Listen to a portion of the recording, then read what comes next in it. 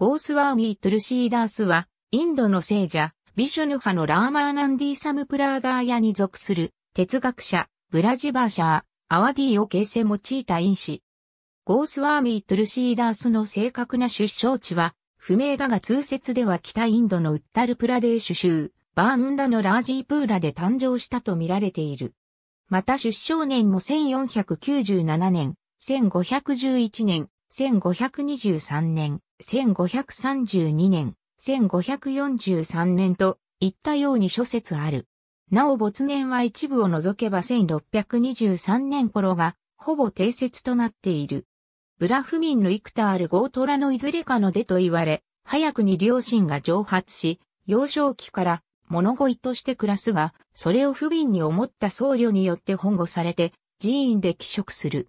グルのシーシャサーナターナからベーダーンが、ベーダ、サンスクリット、ヒンディ哲学の教えを受ける。学びを巣立った後ブラフミンの家の娘ラトナーバリーと婚約。息子タラクは生まれて間もなく溶接。最終的に妻ラトゥナーバリーと別れトゥルシーダースはサドゥになった。インド各地を歩き、さらにヒマラヤ山脈を登る。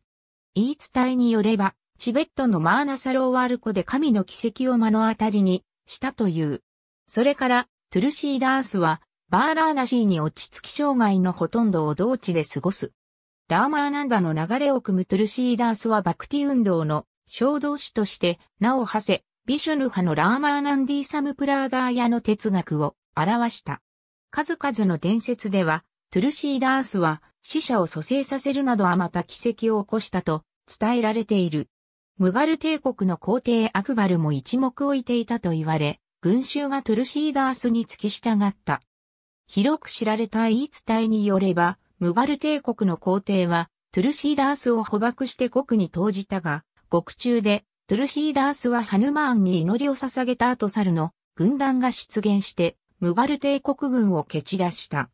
それから、皇帝はトゥルシーダースの足元にひざまずき、聖者よ、お許しくださいと言った後解放した。その後両者は固く、親交を結んだという。トゥルシーダースは、ラーマ信仰を交渉、ブラジバーシャー、アワディを用いた。アヨーディアーで書き始めた、ラーマーヤナの翻案である、叙事詩、ラームチャリットマーナスを刊行。さらに、ビナエパトリカー、ドーハーバリー、カビターワリー、ギーターワリーといった書物を書き残した。1623年頃に、バーラーナシーのガンジス川のアゼアスイーガートで入滅。バーラーナシーのトゥルシーマーナス寺院、トゥルシーガートは、トゥルシーダースの名に由来している。ありがとうございます。